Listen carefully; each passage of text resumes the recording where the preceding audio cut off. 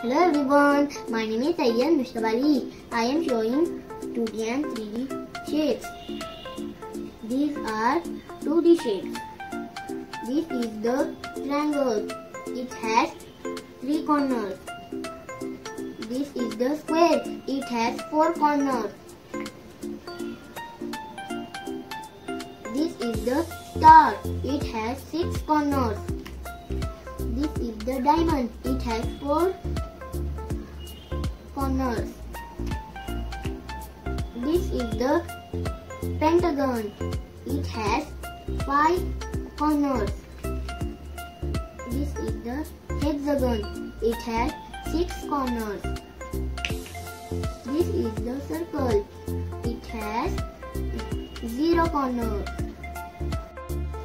These are the 3D shapes. This is the cube. It is made of six squares. This is the cuboid. It has four rectangles and two squares. This is the triangle prism. It has three rectangles and two triangles.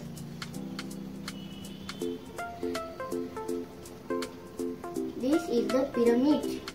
It has four triangles and one square.